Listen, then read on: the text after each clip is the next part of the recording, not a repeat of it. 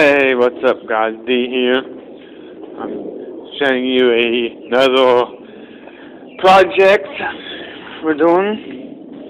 And it is this thing. A 1970s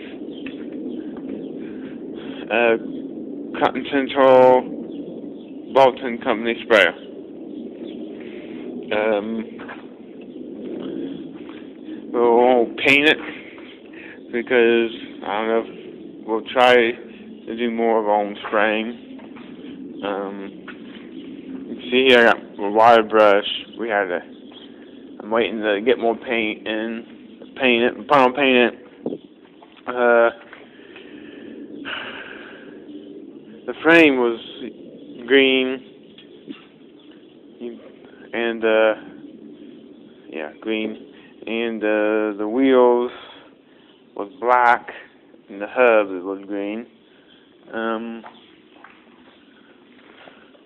and of course, this the straps here was red at one time. You, you can kind of tell that. Um, oh, let's see.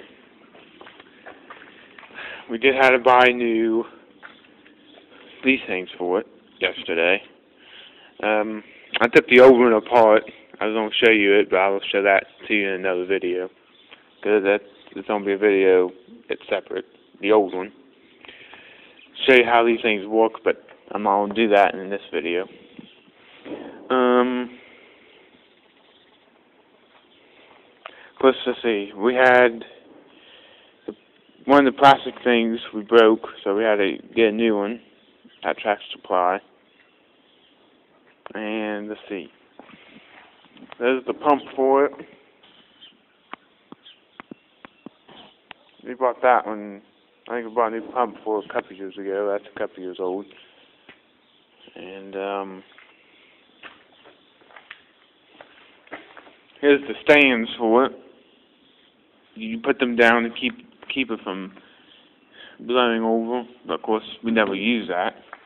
So that probably rested shut thing had blowed over on its side with us before during during a windstorm.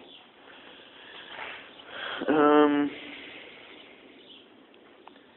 Yeah, just a little spray. I thought we'll, we will paint it. Maybe uh, if we get painted, maybe I'll do a little after video on it to show you guys what it looks like. Um, of course, now like I say, you can kind of see how rusted it up is now.